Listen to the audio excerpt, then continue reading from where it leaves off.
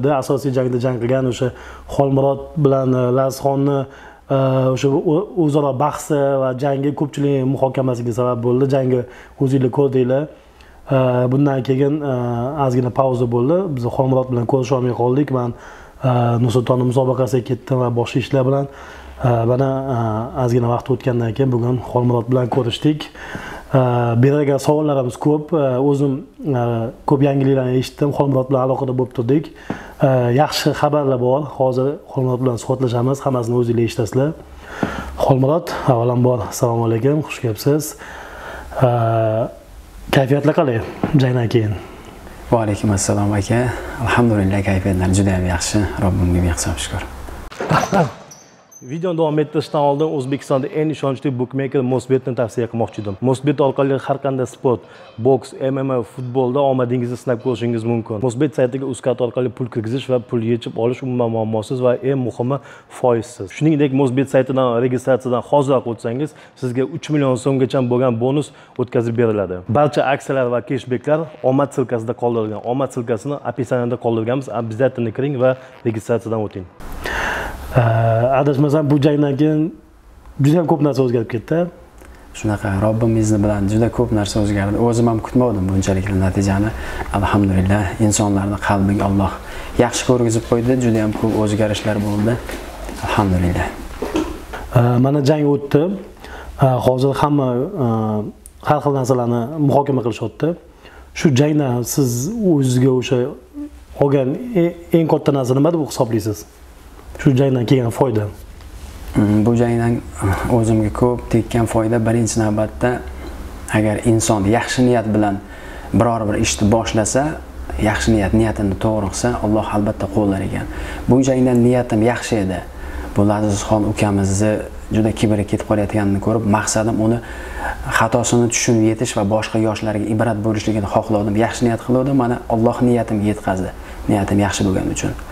Boshqa yaxshi olgan jihatlarim ko'p yaxshi do'stlar orttirdim ko'p insonlar tomonidan yaxshi yaxshi shirin so'zlar shirin tilaklar bildirildi atrofimda yaxshi insonlar jam bo'ldi alhamdulillah agar tanangizda gijja bo'ladigan bo'lsa me'da qurtlari ya'ni ikki oy davomida butkul xalos qiladi mana shu narsa siropi tabletka kapsulasi bo'ladi. Zalga chiqmoqchi bo'lgan akalarimizga sof savdoda aksiya davom etadi.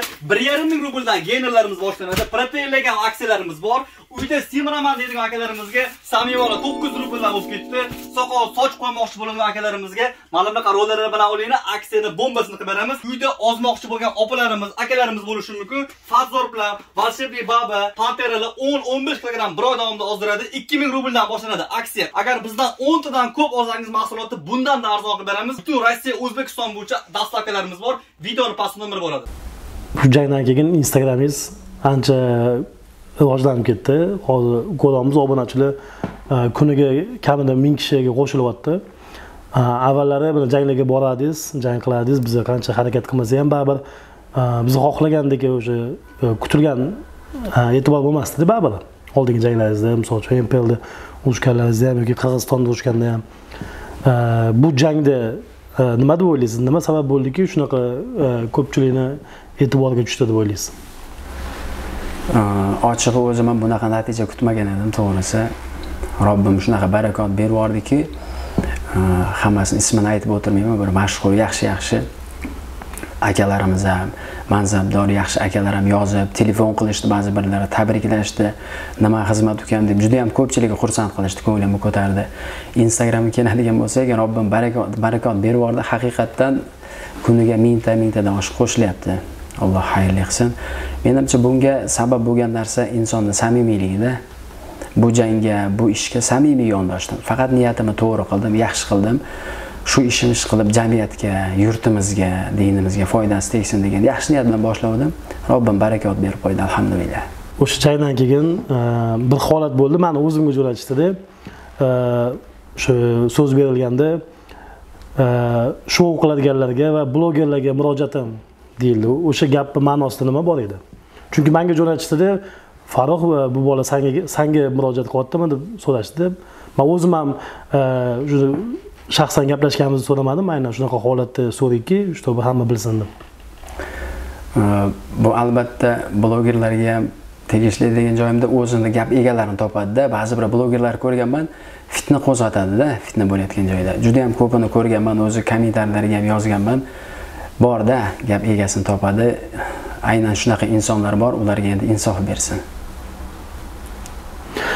Keyin jangdan keyin e, lazizxon bilan e, nimanidir gaplashdinglar o'sha payt lazizxonga nima dedingiz oldiga kelib? Lazizxonga ukam endi sabrli bo'ling dedim bu narsalarga bu holatga o'zingiz sababchisiz tilingiz sababchisiz dedim. Sizga dars bo'lsin dedim.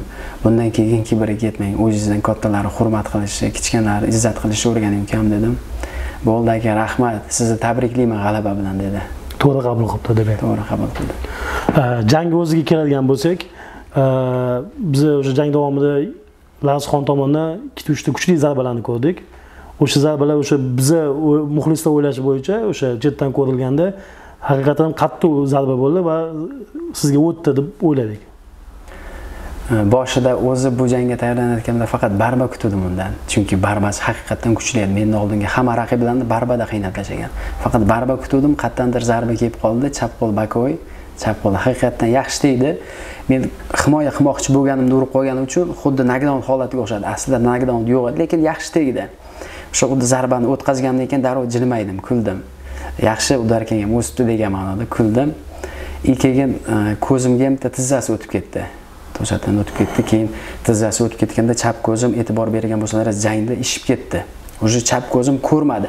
Tizzasi tegdi oxirigacha chap ko'zim ko'rmadi faqat o'ng ko'zim bilan jang qildim.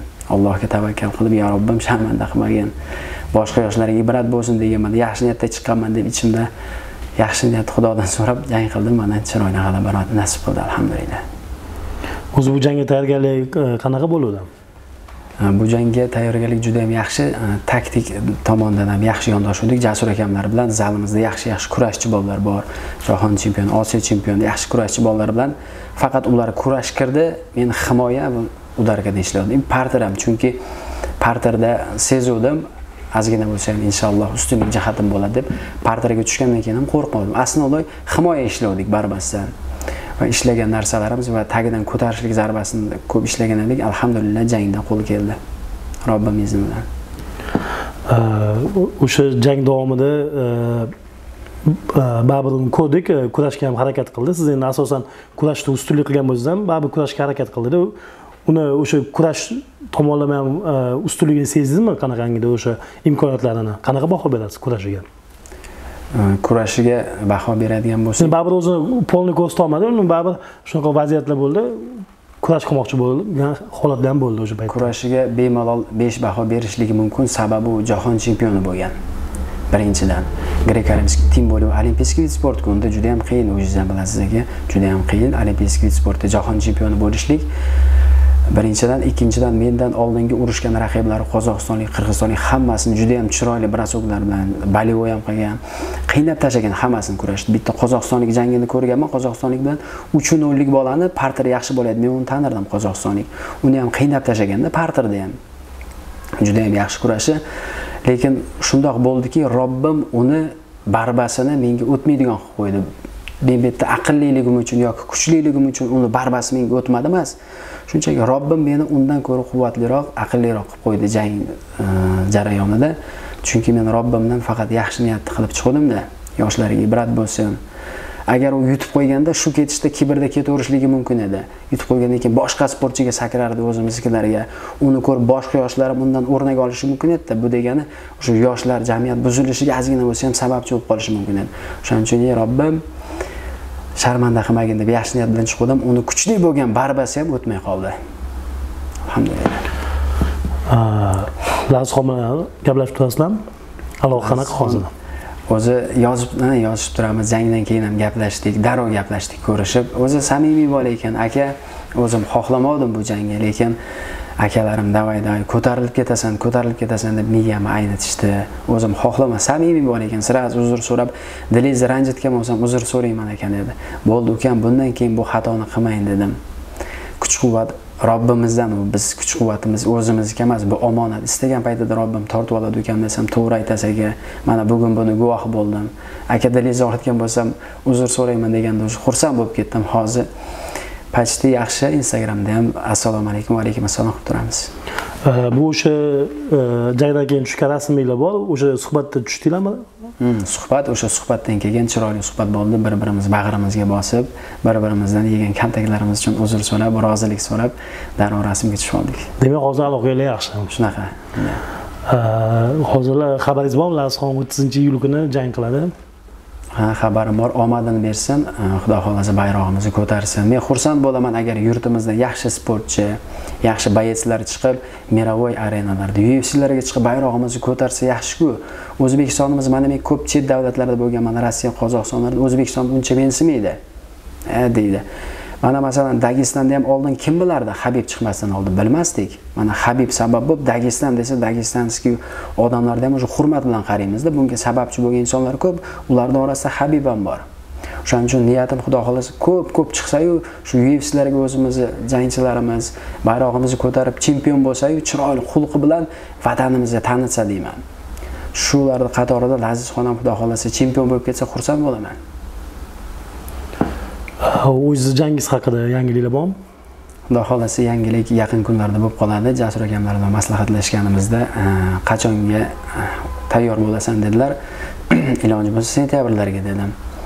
Raqibni shu yevropadan yoki rossiyadan olib kelaylik ekan dedim. Mayli kuchli bo'lsa ham. Yevropadagi jangchilar bilan urushadigan bo'lsangiz yutib qo'ysangiz ufcga yaqinroq e, reytingingiz tezroq ko'tariladida. Yaxshi bo'ladi shuning uchun xudo xohlasa keyingi jangim yevropalik birorta yaxshi bir jangchiga qarshi bo'ladi degan umiddaman xudo xohlasa. Instagramda historiyangizni ko'rdik. Moshina olish niyatingizni bildirdingiz lekin adashmasam o'sha variantga moshina oldingizmi? O'zi ming dollar pulim bor edi. Shu boshiga berib shu vыкупкам birorta moshina olib baribir uy ro'zg'ori kerak bo'layotganda oilam bor farzandlarim bor u yoq bu yoqqa olib borishga ota onam olib borishga undan tashqari kerak bo'lsa taksi ham qilib turaveraman degan niyatim bor edi. O'zi akam moshinalarida olib taksi qilib turardimda hozir endi robbim yetkazib qo'ydi bir yaxshi ismini zikr qilmaymiz maxfiy qolsin degan ismimni aytmang ukam hech qachon sizga nima qilganimni ham aytmayman alloh uchun qildim degan bir yaxshi bir akaxonim sovg'a qildilar o'zlari. Ukam sizdan hech narsa kerak emas duo qilib qo'ysangiz bo'ldi. Joy namozga boshingizni sajdaga qo'yganingizda meni ham zikr qilib qo'ying bo'ldi deb spark sovg'a qildilar. Juda yam xursand bo'lib ketdim bu sport mana shu mmda sport jarayonimda eng katta sovg'alardan biri bo'ldi. Shu paytgacha bunaqa katta sovg'a olmaganman. Endi ja unaqa katta emasu lekin alhamdulillah birinchisi bo'ldi. O'zi e, kuni kecha o'sha olam sportga bergan intervyuzni ko'rdim. E, ikki yuz dollarga o'sadigan e, taksi qiladigan sportchi deb yozibdi. O'zi hayotiy e, sharoit mana shu sport bilan oila boqishga imkon bo'lyaptimi e, doim akamni mashinalarini olib turib angrenda kechqurun kechqurun taksi qilib turardim. Taksiga chiqib turib o'shan bilan e, tirikchilik ro'zg'or o'tib turardi oilamga ham o'zimni xarajatlarimga ham ishlatardim. Lekin baribir yetishmovchilik bo'ladi chunki sportni o'zingiz ham bilasiz vitaminizatsiya degan narsa bo'ladi. Travmogenizaga lecheniya dori darmonlar yaxshi alloh bari barakot berib qo'yar ekan o'zi hoyi bilan yetkazib turadi hozir mana alhamdulillah sovg'a bo'ldi endi bemalol xohlagan paytimda chiqib kuniga uch to'rt soat taksi qilsam ham xudo o'zi barakotini beryapti. Alhamdulillah yetib turibdi. Endi bizda baribir kimlardir o'zbekchilikka oladi ikkita bolang bor ekan e, yig'ishtirsanchi e, sportingni yig'ishtir ishingni qil deydiganlar ham bo'ladida. Mana siz shunaqa holatlarda sportdan chiqib ketmayotganingizga nima sabab bo'lyapti juda ko'p bo'ladi. Nima qilasan? Baribir ko'ryapsan hech narsaga erishmay o'zimni qarindoshlarim yaqin do'stlarim orasida ham bo'lyapti bu savollar. Chiqib ketmayotganimga sabab bu sportni tashlab bu sport orqasidan ozgina bo'lsa ham yurtimga foydam tegayotganini his qilyapman sezyapman. Ozgina bo'lsa ham do'stlarimga yaqinlarimga bizni kuzatib kelayotgan insonlarga ozgina bo'lsa ham yaxshi taraflamanmi foydam tegayotganini his qilib o'zi bu hayotda yashashdan maqsadimiz ham shuda.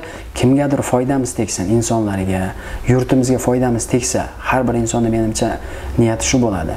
Men sezyapman ozgina bo'lsa ham foydam tegayotgani uchun tashlab ketmayapman. Sabr qilyapmiz. O'zi bu sportni maqsadi nima? Qayergacha bora olaman qayergacha borish niyat bor. Xudo xohlasa robbim qo'llasa o'zi quvvat bersa maqsad ufcga chiqib ufcni kamarini olishlik o'sha yerda chempion bo'lib xudo xohlasa yurtimizni yana ham butun dunyoga tanitib inshaalloh chiroyli xulqli qilsa robbim kibrga qilib qo'ymasin adashtirmasin haq yo'ldan go'zal xulq bilan yurtimizda qanaqangi yaxshi insonlar borligini ko'rsatishlik xudo xohlasa maqsadim. Yaqinda press konferensiyada e, ramazonga shunaqa savol berildiki siz bilan jangga e, yaqin qilib aytishdi ramazon hatto chempionlik kamari uchun ham urushmayman dedi siz bilan. Lekin ikkala mpl dastlab yaqinda ellik yetti kilogrammda mpl chempionlik jangi bo'lar ekan mahmud shu haqida gapirgandek bo'ldi manga. Endi baribir har bitta sportchi o'sha o'zini ligasini chempioni bo'lishni xohlaydi hozir qanaqangidir bu holat haqida ramazonni o'zi bilan gaplashyapsizlarmi misol uchun kim birinchi bo'lib chempionlik kamari uchun jang qiladi? Da bu haqida hazil huzul qilib turamiz. Xudo xohlasa kimga loyiq ko'rsa mana ligani hozir boshqaradigan mahmud akam bilan jasur akam bo'lsalar kimni loyiq ko'rsa birinchi yo ramazonga yo menga beradi chempion. Chunki ikkalamiz ham baravar turibmizda kamarga ikkalamiz ham ramazonni loyiq ko'rsalar ramazonga. Ramazon chempion bo'lsa begona emas o'zimizni komandadan o'zimizni yurtdan xursand bo'laman yordam beraman duo qilaman haqqiga. Avvalo mahmud akam bilan jasur akam boshqarganlari bilan ollohni aytgani bo'ladi bandasiniki emas. Ming ramazon loyiq bo'lganda ham yoki men loyiq bo'lganda ham ikkalamiz ham bo'lmasligimiz mumkin. Ustimizda allohni hukmi o'tadi o'shaning uchun agar ramazon bo'lib qolsa xursand bo'laman. Chunki o'zim ukam o'zimni yaqinim xudo xohlasa. Shunaqa. Mahmud murodov bilan o'zi e, keyingi faoliyatingiz haqida suhbatlashdinglarmi mahmud murodov nima holatda o'zi? Mahmud akam yaxshi samimiy gaplar yozdilar instagramdan ham yozdilar telegramdan. Ukam молодец так держать o'zingni yo'qotib qo'ymagin mehnat qilishda davom et. Xudo xohlasa hammasi oldinda. Hali xudo xohlasa ufcga ham chiqasan deb yaxshi ko'ngilni ko'taradigan yaxshi yaxshi gaplar aytdilar. Mehnat qilishda davom etgan deb aytibdi lekin e, uni hozir zibor qilishyapti siz ziborga bormadingiz. Sababi nima? Sababi ozgina lecheniya olgin deb jasur akam aytdilar. Chunki bo'ydan keyin sразу bir haftadan keyin chiqib ketdilaru ziborga? O'shanga ukam ozgina lecheniya olib yengil trenirovka angrenda qilib turib zibordan tushib ketsak toshkentga kelasan dedilar. O'shaning uchun manga ko'pchilik savol beradida xolmurodni e, o'sha sport bazasi nima deb shu sportga kirib kelishingiz haqida biroz suhbatlashaylik necha yoshingizda boshlagansiz? Qaysi sportdan? Sportga e, yettinchi sinfligimdan boshlaganman. Sportga o'shanda yettinchi sinfligimda kirib kelishimga sabab o'zi dadam sportga qiziqardilar. Yoshligimda o'zlari yonlarida eritib ko'chalarda urishtirib yurardilar. O'zim teng bolalar bilan urushtirib o'g'lim yutqizmagan hech qachon qo'rqmagan deb ko'chada urushtirib urushtirib urushqoq edim yoshligimdan maktab paytimdan juda urushqoq edim ko'chada ham. O'shaning uchun dadam ko'cha nima bo'lib ketmasin deb sportga o'zi berdilar. Yoshligimdan birinchi kurashdan boshlaganman. Kurash qandaydir tabiatdan xudo e, kurash tomonlama bergan dadam ham sezarlarda o'zlari o'shaning uchun kurashga berdilar. Ozgina kurashda faoliyat davom ettirib angrenda keyin shu bilan e, angrenda birinchi ustozlarim abduosit aka ota bolada jamol aka bilan ahmedov abduosit aka ahmed jamol aka o'shalarda faoliyatimni boshlaganman. E, ikki ming o'ninchi yilmi boshlaganman. Rukopashkadan boshlaganmiz o'sha yerda. Keyin shu bilan ikki ming o'n besh professional jangga o'tdik mmaga shu bilan e, ikki ming o'n oltimi ikki ming o'n yetti jasur akam keldim. Hozir ikki ming o'n besh qayerda boshlagansiz mmani ikki ming o'n besh e, qozog'iston qirg'izistonda urushib yurardik olib borishardi e, qaysidir promouterlar shu menejerlar olib borardi.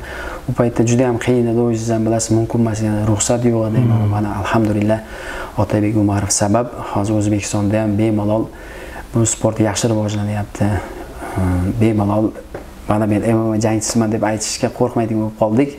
Oldin qo'rqardik mma jangchi musobaqaga borib kelsak ham qozog'iston qirg'izistonga ham kikboks yoki boksdan ketyapmiz derdik birinchidan. Ikkinchidan o'zimni cho'nchagimdan расход borib kelardim. Yuz dollar yuz ellik dollar cho'nchagimdan gonorar bu yoqda tursin cho'nchagimizdan расход qilib borib bizni olib borishardi. Yo'l kiralariga berib o'sha yerda urushib alhamdulillah o'shanda yutib qaytardik. Hech qanaqa bitta kubokcha berib qo'yishardi bo'ldi. Bilamiz faoliyatingizda shu qozog'istonda qirg'izistonda mag'lubiyatlar ham bo'lgan. Э, shu э, mag'lubiyatlar э, nima desa bo'ladi sizga qanaqa ta'sir qilgan? Misol uchun endi shunaqa sportsmenlar bor e, mag'lubiyatni o'zi yoqtirmaydida e, va yutqizib qo'ydim deb e, ko'ngli sovib ketadi. Mana misol uchun laziz homila kecha yutqizdida mana mana ozgina vaqt o'tgandan keyin sizga yutqizgandan keyin mana уже keyingi jangga chiqib ketyapti. То есть o'zini tez tiklab olgan lekin shunaqa sportsmenlar bor. Man o'zim bilganim uchun so'rayapmanda shunaqa sportsmenlar yutqizdi bo'ldi уже sportdan cho'chib qoladi. Yutqizishimga sabab bo'lgan aslida o'zi tayyor tayyorgarliksiz chiqqanman. Ko'p yutqizgan shu mag'lubiyatga uchragan janglarimda hech qanaqa tayyorgarliksiz mana masalan qirg'izistonda birinchi debyut jangimga как мясорубка borishgan qo'shtirnoq ichidagi insonlar raqibim 64 kilo chiqqan men 57 kilo 57 kiloman shundan qo'yib yuborishgan qo'yib yuboraverishgan ularga farqi yo'q insonlar bo'lgan bilmayman. O'shanda birinchi jangim bo'lgan u уже beshu birlik bola edi уже yoshi ham katta tajribali bolaga qo'yib yuborishgan. O'shanda birinchi mag'lubiyatim bo'lgan ikkinchisi qozog'istonda ham xuddi shu bo'lgan.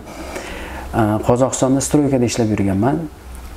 Stroykada bir bir yarim oy stroykada ishlab hech qanaqa trenirovkasiz просто stroykada ishlab yurganimda rosa bo'yiga chiqqim kelardi nahotki endi hammasi to'xtadi nahotki shuncha mehnatim deganimda telefon qilib qolishdi. Astonada ishlardimda astonada musobaqa bo'lyapti mana shu yaxshi boец bergan unda ham. O'n uchu ikkilikmi bola edi? Endi uchtami jang o'tkazgan edim o'shanda yaxshi bola bergan. Urushasiz mana shu jangchi bilan dedi. Как раз astonada bo'lyapti dedi. Farqi yo'q urushaveraman dedim. Nechi kilo? Oltmish olti bo'ladim oltmish bir farqi yo'q deganman. Chunki qarasam faoliyatim to'xtab qolyaptida rozi bo'lganman tayyorgarliksiz bir hafta vezganiyat qilganman oltmish uchdan oltmish kiloga. И o'shanda ham astonada сопернигim kelmagan taroziga. Men ровно oltmish ko'rsatganman. Ular e, o'zini shah qanaqadir aktobin banasi joyidan просто video jo'natib yuborgan. Video mana oltmish bir kilo sariq kartochka bilan chiqadi. Bu oltmish bir kilomi xudo biladi. U gabariti ham katta o'zi ham katta. Edi unda sabab bo'lganda demoqchiman. Bu gaplarim bilan shu mag'lubiyatlarimga sabab bor o'ziga yarasha. Э, lekin mana oxirgi janglaringizdan bittasini eslasak navoiydagi jangingizda o'sha raqibingiz e, og'ir bo'lib qoldi. E, Sizda o'sha vez qilolmadi shunda ham jang qildingiz. Yoki bundan keyin ham jang qiladigan bo'lsangiz misol uchun raqib olib kelishdi sizga o'sha siz so'ragan yevropadan raqib olib kelishdi lekin e, o'zbekiston ovqati yoqmadida u vez qilolmay qoldi. Urishasizmi shunaqa holatda? Professional jangda o'zingiz ham bilasiz o'zi bir kilo ikki kilo ham ancha katta разница o'ynaydi. Vezga ayt qilayotganda o'zi oxirgi bir kilo gramm grammlar вообще ketmay qoladi o'zingiz ham bilasiz navoiyda bo'lgan jangimda ham raqibim bir kilo sakkiz yuz gramm лишний chiqdi. Men robbimga taqvo qilganman robbimga tavakkal qilganman bir kilo ikki kiloga qarab o'tirmayman. Agar liga ruxsat bersa пожалуйста men bir kilo ikki kiloga qaramayman urishaveraman bundan keyin ham xudo xohlasa. Oldingi janglaringizni ko'radigan bo'lsak e, zarbalar kam bo'lardi. O'rtacha baribir o'rtacha zarbalar bo'lardi lekin mana shu ayniqsa shu navoiydagi jangingizdan keyin ko'rdimki xuddi ana ikkinchi dihani deydiku ikkinchi dihani ochilgandek bo'ldida o'sha zarbalaringiz ham o'tkir har bitta zarbalaringiz raqibingizni o'sha gandiralayotdi и bag'ringiz ham umuman boshqa boshqa уровеньda bo'lgan bunaqa yengillanish bunaqa ochilish nima sabab bo'ldi chunki men oldingi bo'ylaringizni ko'rsam bunaqa уровеньni ko'rmasdimda hozir mana shu oxirgi ikkita jangingiz haqiqatdan ham sizni boshqacha sportchi sifatida ko'rsatib berdida alhamdulillah. Nima o'zgardi? Siz aytgancha bo'lyapti. O'zim ham buni jang jarayonida ham o'zim sezyapman. Oldingi janglarimda ikkilanish degan narsa bo'lardi. Otayim deb jo'rgit jo'rgit qilardim ikkilanish degan narsa bo'lardi. Hozirgi janglarimda oxirgi uchta jangimda desam desam ham bo'ladi. Adashmagan bo'laman xudo xohlasa. Chunki andijonda bo'lgan adashmasam erta ham nokdaun qilib zarbada. Ha u yerda ham nokdaun qilib keyin bo'g'ib uchta jangim faqat udarkada bo'lyapti. Alhamdulillah ikkilanish degan narsa bo'lmayapti. Hozir qalbimda zarracha bir qo'rquv bo'lmayapti. Unaqa narsa sezmayapman. Oktagonga chiqyapman hech qanaqa qo'rquv yo'q. Oldin ikkilanish ozgina hayajon bo'lardi jang bo'layotgan joyida ham. Hozir unaqa narsa umuman bo'lmayapti. Alhamdulillah qalblar ollohni qo'lida deydiyu qalbimizga olloh o'zi quvvat berib qo'yyapti alhamdulillah ko'z tegmasa haqiqatdan ham oxirgi ikkita emas mana shu uchta jangingiz haqiqatdan ham andijondagi jang ozgina esimdan chiqqandan keyin haqiqatdan ham bu ham zo'r jang bo'luvdi. O'zgarishlar yaxshi. Misol uchun hozir bunaqa janglar ko'z turib sportchi baribir yaxshi reyting qilgandan keyin yaxshi raqib bilan urgandan keyin baribir дальше davom etgisi keladi. Boshqa ligalarga o'sha ufc sari baribir endi darhol ufc bo'lmasa ham hozirgi ligadan kuchliroq ligalarga o'tishga takliflar bo'ladi. Nima deb o'ylaysiz? Misol uchun shu ligadan keyingi ligaga o'tadigan bo'lsangiz mahmud murodov sizni qo'yib yuboradimi jasurlar?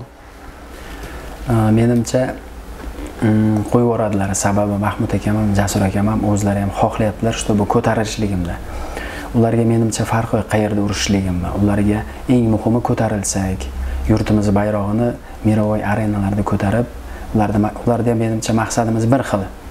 O'shaning uchun qo'yaveradilar xudo xohlasa maqsadimiz ufc прямой e, shu ligadan ufcga o'tib ketishlik iloji bo'lsa xudo xohlasa o'tib ketamiz. Bo'lmasa birinchi one fcda urishibmi yoki bellatordan urishibmi o'tamiz. Xudo xohlasa maqsadimiz ufc shu yilni oxiriga yoki yana yilni boshlarigami alloh nasib qilsa o'tib qolamiz degan umiddamiz inshaalloh. Demak hozir sizni e, keyingi raqibingiz e, agar o'sha so'raganingizdek yevropalik jangchi bo'lsa bundan keyingi shu uni ustidan qo- qozonilgan g'alabadan keyin yevropaga yoki amerikaga harakat bo'ladi. Xudo xohlasa xudo xohlasa e, bu kelayotgan oldimdagi xudo xohlasa sentyabrda jang berishsa yaxshiroq raqib so'radim. Yaxshiroq raqib bersa uni eson omon robbim bilan yutib olsam уже nima desam tramplin bo'ladida bitta sakraganda ufcga yaqinroq bo'lamiz xudo xohlasa. Keyin bitta viza qoladi. Vizani ham eson omon olib olsak inshaalloh ufc esimda bor bir e, adashmasam uch yil oldin e, birga siz bilan mahmud murodovni kutib olgan edik. E, o'sha amerikadan uchib kelganda birga aeroportga chiqib kutib olib keyin birgalikda buxoroga ketuvdik.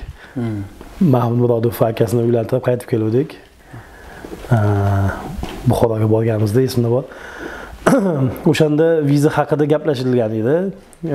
Adashmasam yevropagami yo yevropaga gaplashildi chexiyaga xfnda o'sishga o'shanda bir harakat qilib ko'ruvdinglar vizaga.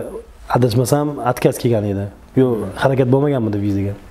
Mahmud akam harakat qilib ko'ramiz ukam devdilar o'shanda.